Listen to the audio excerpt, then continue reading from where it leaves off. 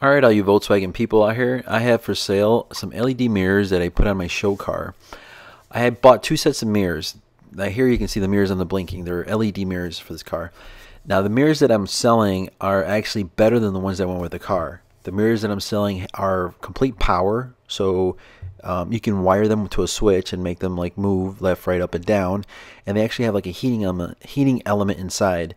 So I mean, I'm not going to drive a show car in the winter, but um, you know, if you plan on doing it, it it'll get it'll melt the ice.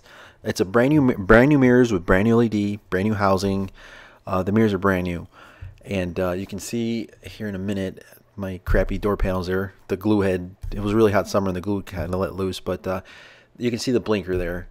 Um, that's the blinker on my on the mirrors. They look pretty classy. I mean, they fit the car pretty well, and um, they're custom for this car. Um, just showing you guys a picture of the under underside of the car. It was pretty clean. Uh, you know, no matter what you do with these engines, I mean, you, just to try and prevent the oil leaks. But anyhow, those that's the instrument panel there. It was all LED. There we go with the LED blinkers. I, that car looked cool with those things. Um, I think it gave it a little class. It wasn't tacky, and um, it's just what I like. It was fun driving this car around. Uh, if you guys are interested, my phone number is on the screen. It's area code 847-980-6079.